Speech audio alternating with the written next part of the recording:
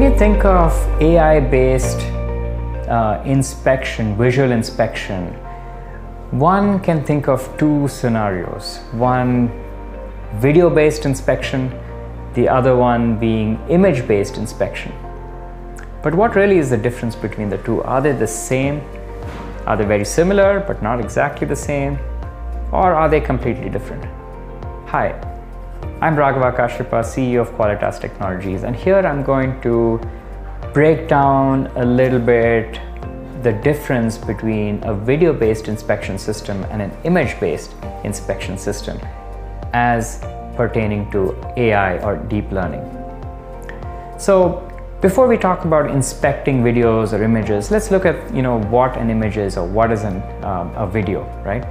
Um, a video is nothing but a sequence of images that are encoded together, which uh, display in a sequential manner. So it has, it's not just one frame, but it's a sequence of frames that are stitched together and optimally encoded so that it's um, optimized in terms of the size. But it has a series of frames which are in uh, a fixed and predictable amount of time displaying in front of you. So when you see it, you know, in a fast enough way, it looks like a motion-based view, but it's actually, you know, still images which are being just presented in front of you in a very um, fast um, frame sequence. So an image, on the other hand, you know, is just a still image. So it's one frame taken from a camera. So when you're talking about inspecting either a video or an image, the underlying uh, inspection that you're doing is going to be on a single frame. So be it a video or be it on an image. So that's where the similarity ends. The only the difference, however, is the technology that is being used. So if you have to, you know, break down each of the frames within an image and then do them sequentially, just like you would one image at a time, your um, performance, it's not going to be as optimal in terms of performance.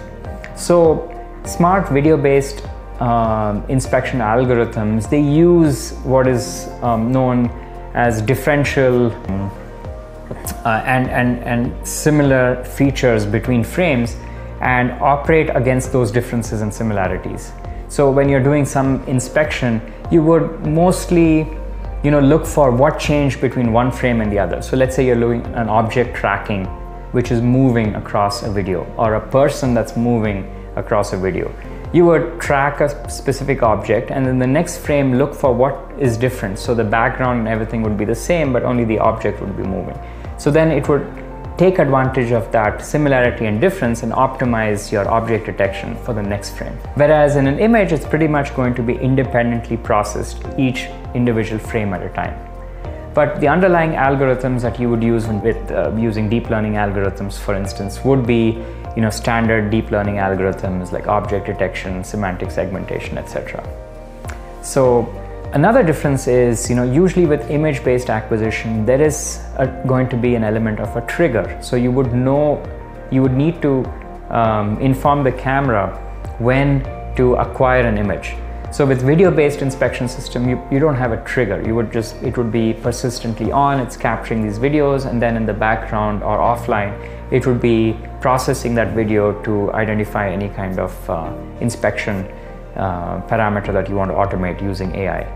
Whereas in an image-based inspection system, you would need to synchronize this with some form of a trigger. So even though the camera is trained on, let's say, a moving assembly line, you would capture that image when the part comes in front of the camera. So you'd have a trigger, the trigger would then activate this camera, the camera would grab, an image, and then the software would then do the processing. So that's usually the sequence of events. But if you're doing video-based inspection, you would just have the camera which is taking pictures, you know, persistently, it's, it's always on and you know as it's moving you would have an algorithm that then identifies the part that's in front of the camera and then identify um, the state where there is no front of the camera. So that differentiation has to be then built into the uh, the software.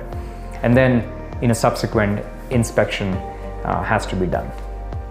So those are the main differences for you know wherever image based inspection is suitable it's probably a lot easier because it's more performant it's inspecting one frame. But it does come with you know having to uh, trigger the camera. So you need some kind of a signal to indicate to capture that image. Whereas videos a lot easier to set up. You could just use a, a surveillance camera but then the algorithms are going to be also a little bit more um, involved in terms of um, or, or even limited in terms of what you could do in terms of precision inspection. So hope this video is useful. Thank you